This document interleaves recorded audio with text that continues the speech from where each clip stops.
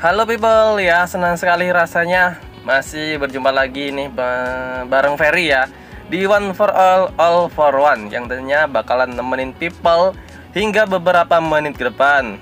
Tentunya di program dan acara yang selalu spesial ya, yang ditunggu-tunggu nih. nah kali ini adalah review ya people ya review barang elektronik Sebelum itu Ferry ucapin selamat menikmati dan juga selamat mendengarkan ya. Kembali hadir di tengah ruang dengar Anda yang selalu mempesona. Di kesempatan ini juga ya uh, Ferry ucapin untuk Anda yang lagi bersantai ria ya. Lagi menikmati apa suasana pagi Ataupun yang lagi jogging. Tapi kalau lagi jogging sambil nonton biasanya jarang ya. Itu biasanya lagi dengerin musik biasanya. Nah kalau ini mungkin yang lagi santai suasana pagi atau sore ya atau lagi di kendaraan harap hati-hati. Nah eh, people ya di apa acara ini Ferry kemarin beli adapter ya. Adapter ini untuk apa aja sih sebenarnya ya? Berhubung adapter yang lama itu rusak jadi ini ada adapter mereknya tuh Viata ini Ferry beli ada dua.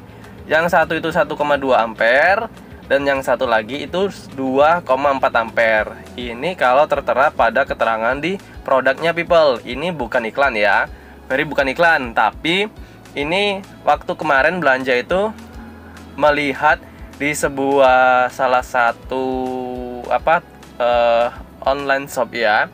Kayaknya ini deh yang paling banyak uh, orang minat ya gitu. Banyak banget ratingnya. Jadi kita coba aja beli. Dan harganya ini satuannya kalau yang 1,2 ampere people ini kurang lebih kemarin tuh 25 atau 30-an ya. Terus ini warnanya hitam ya. Ini one port charging hanya satu lubang ya. Kalau dua lubang itu dua port charging. Tapi ini kemarin e, ngambilnya yang satu port aja ya.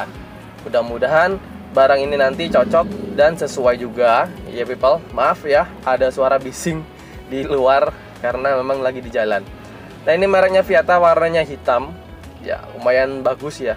Kayaknya agak kecil banget mungkin karena 1,2 ampere tadi ya people. Tetapi sih nggak masalah sih bagi Ferry. Yang penting dia bisa mengisi daya ya Baik itu yang diisi itu bisa handphone ya bisa speaker bisa US uh, eh, apa? Uh, wireless ya wireless bluetooth wireless speaker ya. Macam-macam deh pokoknya people ya. Di sini cuma ada logonya doang terus di bawahnya itu ada tulisan uh, untuk ketegangannya ya berapa volt ampere gitu. Nah untuk yang kedua ini yang 2,4 ampere. Di sini warnanya putih people kalau kemarin kita lihat people itu ukurannya lebih besar dibandingkan yang 1,4 eh 1,2 ya bukan 1,4 dibandingkan 1,2 ampere. Ukuran ukuran adapternya maksud Ferry itu ya jadi di sini yang 1, eh 1,2 lagi ya. 4 eh 4 lagi. 2,4 ini ya ukurannya lebih besar nih ya. Kita lihat ya, bisa kita bandingin du apa lebih besar dia untuk ukurannya. Di sini tertera tulisan doang di atasnya ya.